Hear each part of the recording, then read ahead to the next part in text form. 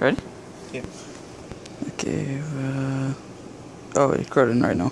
Alright, hello, good day everyone. Um, so right now I'll just try to show you what these controls are for.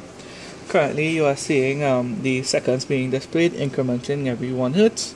Um, so this is this um, seconds and this is the AM PM section. You move the code. Um, by um, by having the combination 00 zero for these two switches we can see this, this combination by having 0 1 we can see the minutes the hours by having 1 0 we can see the day the month and by having 1 1 we can see the um Yeah. year. And by flipping all these three switches we can see what digits are entered in the keypad. So if I enter 3332 you can actually see 3332 being entered here. Um, these two switches here now control whether we want to display the current time, the alarm 1, alarm 2, or alarm 3. So current time is 00, 0. alarm 1 would be 0, 01, alarm 2 would be 10, 0, and alarm 3 would be 11. 1. By default, all these alarms, when we set as pressed, are set to the zeroth, um, the, the, the zeroth, the zeroth minute, uh, 12 a.m. at the first day, right? Mhm. Okay, cool. So let's get into starting the specifications. So first off, we could sort of try to set some milestones by setting the alarms. So first we'll try to set alarm 1. So let's enter the digits here for alarm 1. So let's try to set the the day Uh, for alarm 1. We set it to be the 31st. Right, so we enter the digits that we want to set, then we, we enter 1 since we want to set the day, and we enter 1 again since we want to set alarm 1.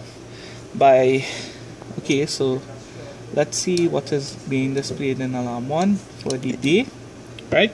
So by flipping this switch, initiate setting high, that means that the value entered should be registered here and the, the display should blink. So let's see how it goes. So as you can see it blinks and the day is set to the 31st. Okay, so let's try to set the minutes now. Um, not the minutes, the AM PM.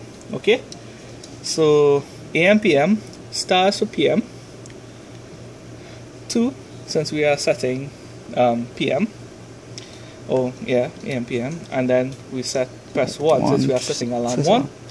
So let's see if it works. As you can see here, it changed this, it changed to P.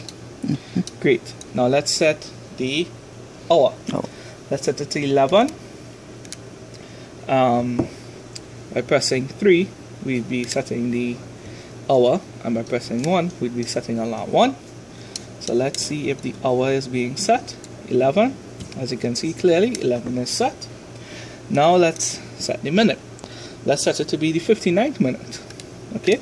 So the 59th minute, um, 4 for minute, and 1 for the alarm. Alarm 1 being set. So let's see. Great. So 11.59 is the time for alarm 1. Let's repeat the procedure, but try to get it to the 28th this time. 11.59. Okay? But let's try to set alarm 2. Okay? So let's set alarm 2. So let's look at alarm 2 now. Great. So this is alarm 2. go drop from my. Oh gosh, boy, what the hell, though? Okay, so as I said before, we are, we are trying to set set it to the 28th of the second month. I mean, yeah, just the 28th. We not was not allowed to set months. Um, so the 28th, 11:59. So as you can see here, we are set to alarm two, right? Because the combination one zero is entered here, right? Um, so let's see if we can set the day. So remember the day we want to be the 28th. We enter 1 for day and we enter 2 since we want to set alarm 2. Flip it high. Let's see. So as you can see here, the day is set as the 28th. Let's set the AM PM, set it to PM. Um, then we enter 2 and then we enter 2 again since we want to set to the set the alarm right? So let's see if we get the alarm. Great. So it's 2 great. Now let's repeat the procedure and do it for the hours. 11 um, 3 2 um, let's see if we getting the, the um, hour. 11 3 2 11 is set. Great. And now let's set the minute the 59th minute. Oops 59th minute 4 since we set a minute and 2 since we want to set that alarm right? Okay great. So that's it and let's see if the minutes is set. Great so the minutes is set there.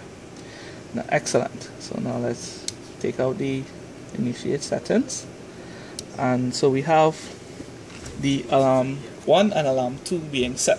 Now if you would like to look at alarm 3 alarm 3 let's leave it at the default value and see what happens there. So if, it, if we leave, leave it at the default value which is the first minute um, the zeroth minute 12 a.m first the first day. So it means that when you transition into a new month this alarm should sound for one minute. Right? Okay cool. So let's get into setting some current times. Okay Mm-hmm. So currently we are in the first day in the first month, as you can recall. So let's try to set it to the 31st day, right? Okay, cool. So we go into the first, then we press 1 if we want to enter the day, and then we press 4 if we want to set the current time. Okay, so let's look at the day, see if it goes.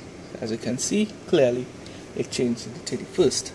Right, now let's set AM PM, set it to PM and enter 2 since we want to set AM PM, and 4 since we want to set the current time. As you can see clearly here, it changes to PM. Alright, um, now let's set um, minutes. Minutes, um, the hours. Hours, yeah. So it's 11, then 3, then 4. Um, hours would be here. Clearly it is changed and now minutes. So to 58 right? 58 so it'd be 4 4 and yeah hmm. right so let's see if we get it.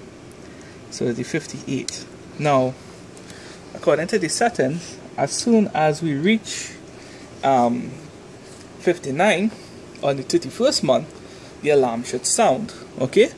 So let's see if we when we reach 11:59 if the alarm would sound. Seconds. Okay, so these are the seconds.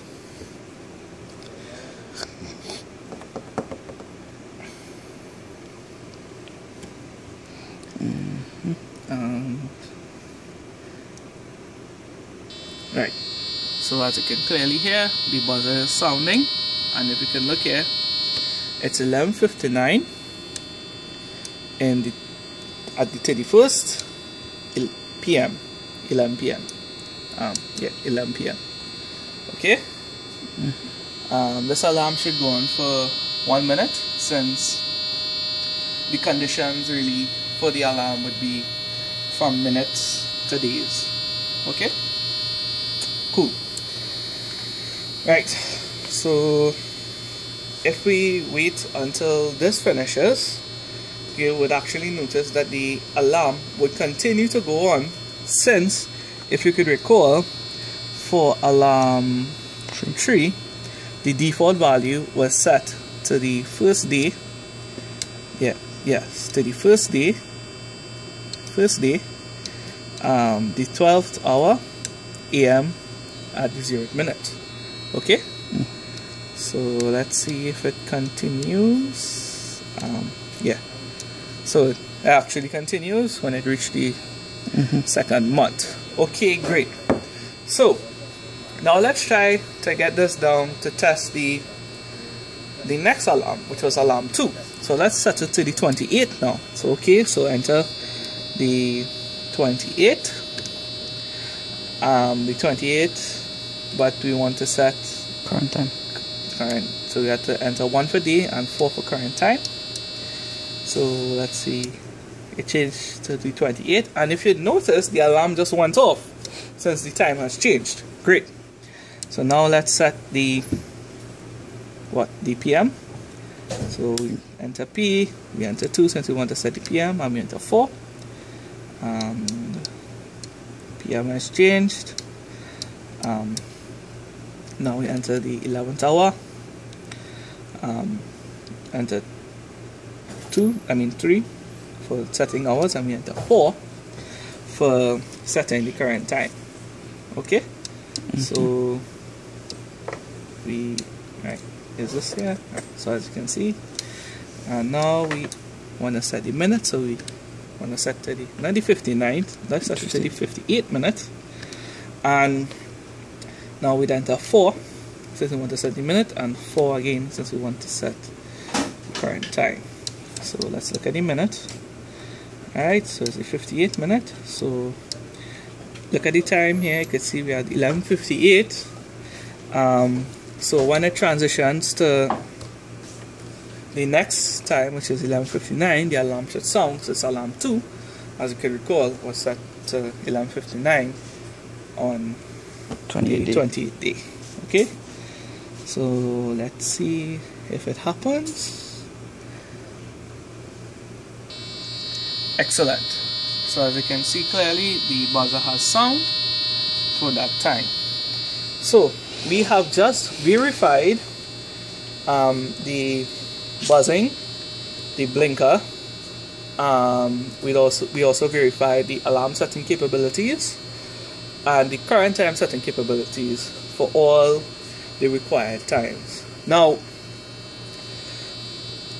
if you notice, when the when we transition from the 11:59 minute to the next day, right?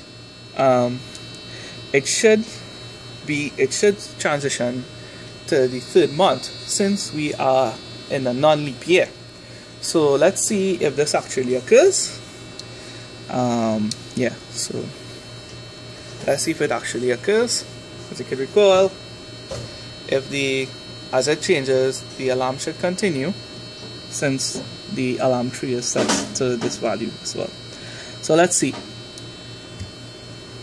it is the third month, the first day at 2017. So this is the first half of testing the leap year algorithm. Okay, so in order to test the next half, we'd have to set the time, the year, year to a non-leap year. I mean actual leap year, which we'll try to set it to 2016. So we'll do that in code, right? So if you come over here we would just simply just change this value to 0 and save and come here and generate programming file? Huh? Could I stop recording? um, well, I don't know if you want to stop recording, you could stop recording. Just loading the bit file. Alright, uh, we're clicking program uh-huh. And it has been programmed. As you can hear, the buzzer, buzzer is on since all the default values are set, right? And all the alarms are actually reset since um, this has taken place. So, as you can see, we are in 2016. So let's just get um, getting it to the 31st. I mean the the second month, the 28th day. So let's go. So we go 31st, 1 4 then we go PM 2 4 then we go 11 3 4 then we go 59 um, 4 4 we just wait until it transfers to the next month so we have 48, 49, 50, 51. So we'll just wait until it go to the second month. You would hear another alarm. Yeah, great, excellent. So we're in the second month. So let's get into setting it to um, the, back again. 28 day. 28 day. 1, 4. Then we want to set 11, no, PM. 2, 4. and we want to set um, the Hours. hours, three, four, and we want to set the minutes, 59, 4, 4. Right. Great. So let's see. We are in 28th day and the minutes here. So since we are in a leap year, 2016, we should expect that when the final minute is transition, well, the final second is transition, we go to the 29th instead of the the first of the third month. Okay, so let's wait and see. 59. Ah, as you can see here clearly, it has been it has transitioned to the 29th. So clearly, the leap year algorithm has worked. Um, so we have crossed out yet another specification. Now, we have you have noticed that we, in order to fully test the the first specification, we'd actually have to accelerate the clock in order to see, for example, months transitioning, days transitioning. But you have seen um, when these alarms are set, the clock actually behaves as it should. Okay? And so that's the end of the presentation. Until, unless if you want to actually see an accelerated clock. Okay. Okay, so right now we are going to program this thing at a clock frequency of a hundred thousand hertz in order to try to attempt to see the the um, the months transitioning for the corresponding day and the year as well. Okay, so we're going to click program. Yes.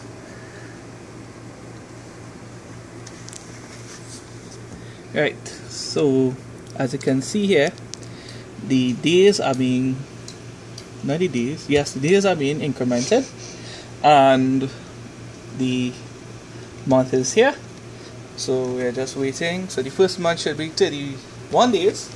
So let's see if that goes to 31. Great.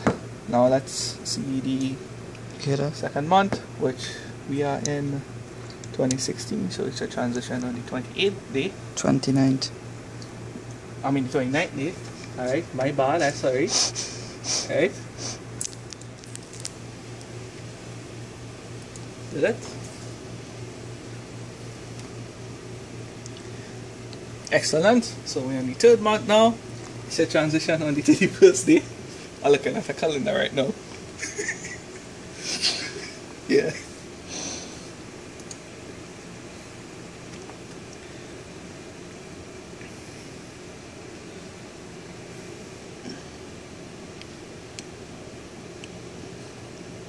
I guess we can speed up this one. Yeah, tell me first. Alright, great. So now we're on the the next month, which is April, and should transition after the 30, 30th day.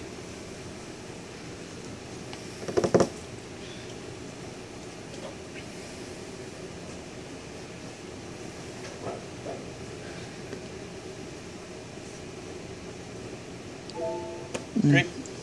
Now we're on May. It should transition after the 31st.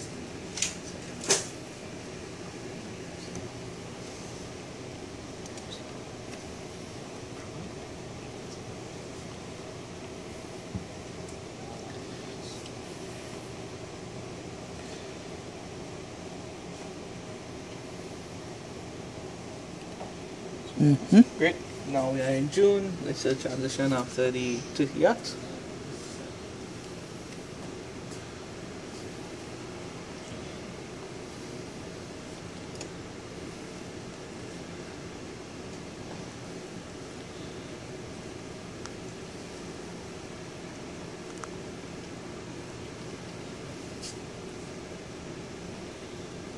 Now we're in July, a transition after the 31st.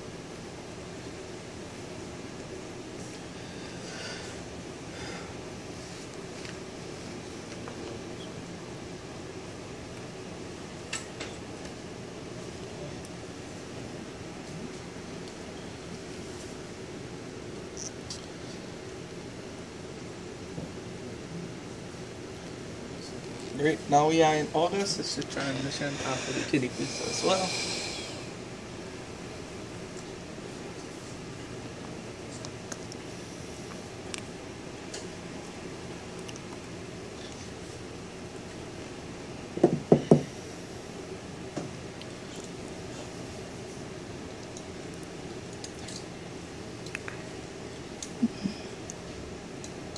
Now we are in September and it shall transition after the 30th.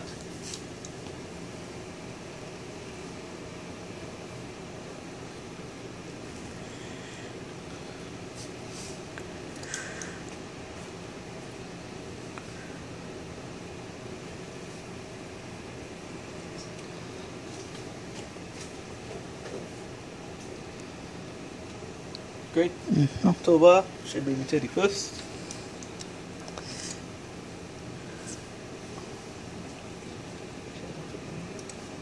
Yeah, October should be the 31st.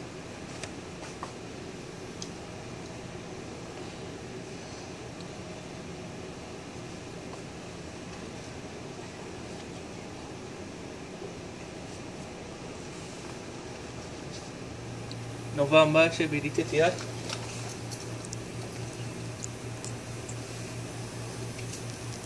It should come and switch it to years on the, the um when 12 go to 1, right? Yeah so No, no, it's still are still in 2016, if you can notice. Um, great. Now we are in December. It's a transition on the 31st, and when it transitions to 31st, 31st month, we check the year after, right? So currently we are in 2016.